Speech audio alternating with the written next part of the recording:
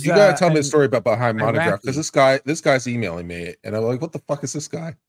Oh, What's story behind Monty over here. What are you talking about? Story behind Montagraph. We got a lot is- to cover, Rekieta. We got what what is about there to explain about Montagraph? Yes, he There's gained a nothing Many to- resurgence. things. Hello. He had a resurgence when Nick had his uh late unpleasantness.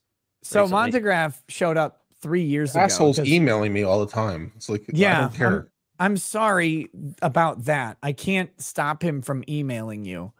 Um, I would like to stop him from emailing anybody, but there's just nothing to be done about it. He's um um no, he's he's a mentally deranged person. Like there's not there's not any other explanation for it. And uh, he got mad at me because I was on a stream with uh, Mr. Metokur, and he didn't like Mr. Metokur, and he did to me what he's doing to you. He except he called me on my phone, and when I answered, and he's like, "I'm recording this phone call," I was like, "Whatever." And then he starts talking to me. He's like, "Did you do a stream with a Mr. Metokur?" And I'm like, "Oh yeah." Okay. And I talked to him for a second. Then I was like, wait, I changed my mind. I don't consent to this phone call. Also, you're gay or whatever. And so I made fun of him on the phone.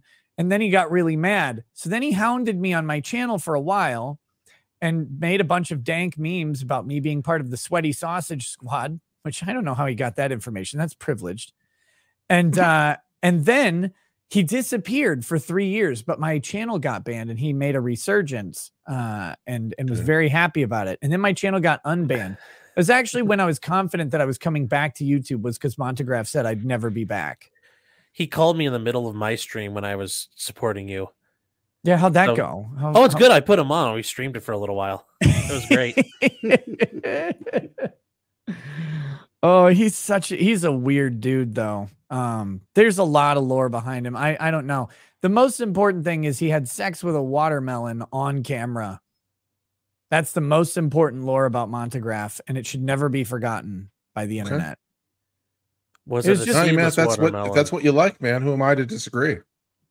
I'm, that's I'm that's the, that's a big not here to disagree with it at all. I just I think that that part of his expression is beautiful, and he should share it with everyone.